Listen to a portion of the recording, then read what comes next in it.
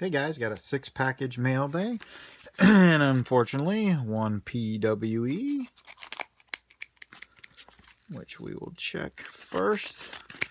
That way I'll get the, anything bad out of the way. And still so far behind in my packages. Actually, some of these are the newer ones. Decided to open them.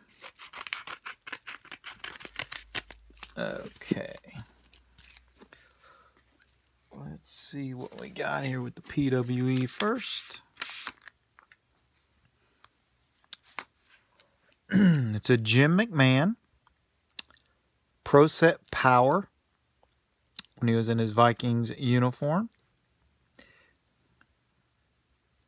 Did not have this card. I'll check it out later and see if it's worthy of sending it to PSA get her graded. Put in the hopefully master set. Okay, now we'll just grab and open. Here we've got, it's what I like to see. Not the tape, but both sides of the card protected. Oh, and one of the new McMahons from the Four Sports or all sports they call.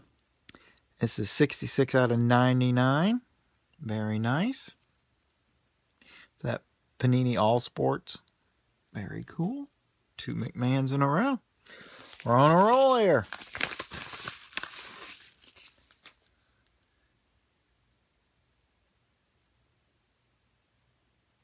Fell. Fell Dave that Greg J sent you? I have no clue.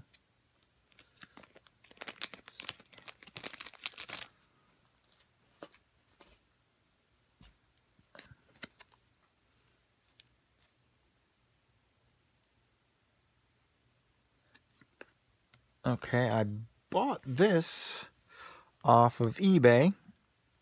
It's a gold Jay Cutler uh, this year's uh, Chrome Mini, numbered out of 10. Have no clue what that means. Tell Dave that. Oh, tell Dave that Greg J sent you. Uh, have no idea what that is. Maybe I only know one Dave. On here. But, like I said, I got that off of eBay. So, I don't know. It's a mystery. Maybe I'll find out what the mystery is. Here we go. Here's a Razwin. Uh, 2012 Panini Contenders Alshon Jeffries. The playoff ticket, 9.5. 10 auto and it is out of 99. This is number 25 out of 99. Very nice. Shine to that bad boy. Cool.